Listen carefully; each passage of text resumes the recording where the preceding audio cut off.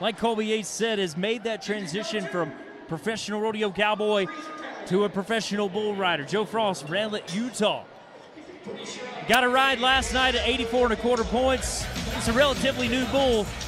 He's got a bull that he's going to know pretty well here tonight. 84 and a quarter. He's got to be a few more points here tonight if he wants to move into the event lead.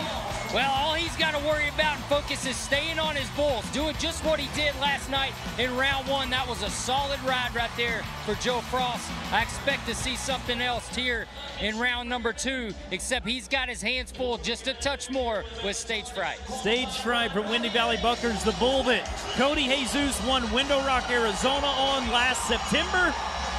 Joe Frost, he's got it.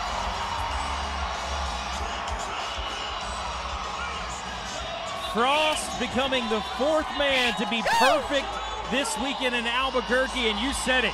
He just has to chill out a little bit more of a difficult bull, but hey, that's good. That's more points. This has been a great bull. We've seen them be as high as 90 points on before. Not going to be that high here, but you can see the control. That free arm got just a little bit too high. Scared me there for just a second because that can really end things quick. But he just immediately pulls that free arm elbow down to get the weight back in the inside of the spin. That was a, right there, that was a big time move for Joe Frost.